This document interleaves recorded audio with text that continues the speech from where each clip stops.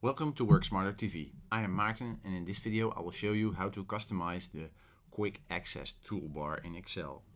The Quick Access toolbar is this little toolbar here which by default has a save button uh, and then an undo and a redo button. But uh, well, these are three functions that are handy to always have inside no matter what tab you have selected. But you can also add more to this. You can click the icon here. It says Customize Access, Quick Access Toolbar. And you can say, well, print preview. That's a handy one. Um, and you can say, well, we can have a sort command in here. But you can also um, have more commands and you can basically just pick anything you want from here.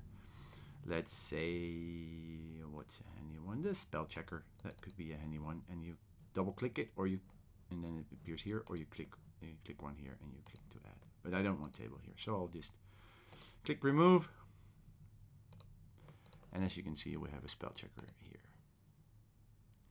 And you can also say, I want to show it below the ribbon, but I really wouldn't know why because this is a much more, well, it saves space, you see, because this space doesn't get filled this way.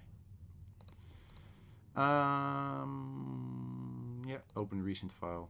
Well, we can go on. And if you say, okay, I don't want to have sort ascending anymore, you just click it again and it will disappear. All right. Um, I hope you found this video helpful. If you have any questions, you can leave them in the comments. You can subscribe to my YouTube channel by clicking the subscribe button below this video.